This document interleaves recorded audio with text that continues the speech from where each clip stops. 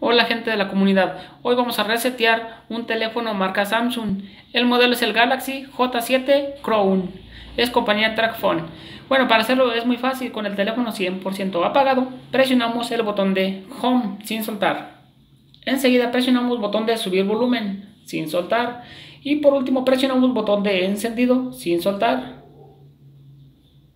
En cuanto encienda soltamos el botón de encendido y continuamos presionando los otros dos botones. Aquí nos va a aparecer este menú. Aquí vamos a bajar con el botón de bajar volumen a la opción llamada Wi-Fi Data Factory Reset y tocamos botón de encendido.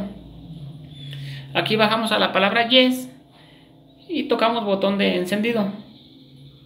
Y comenzará el formato. Cuando termine, nos va a aparecer nuevamente el menú. Esta vez bajamos a la palabra llamada Wi-Fi Cache Partition y tocamos botón de encendido. Aquí bajamos a la palabra Yes y tocamos botón de encendido. Y listo, gente, aquí ya hemos terminado. Aquí solo resta reiniciar el teléfono oprimiendo botón, botón de encendido. Listo, gente, si les fue de utilidad el video tutorial, les invito a suscribirse al canal. Saludos a todos y hasta la próxima.